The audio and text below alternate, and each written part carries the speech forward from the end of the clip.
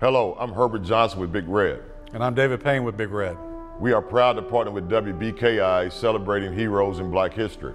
Today we celebrate Jimmy Ellis.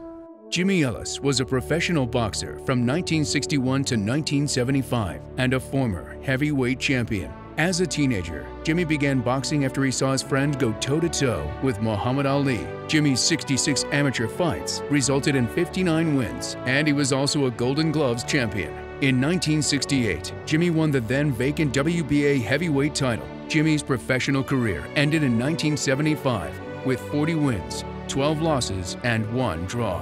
For more information on Heroes in Black History, go to WBKI.tv.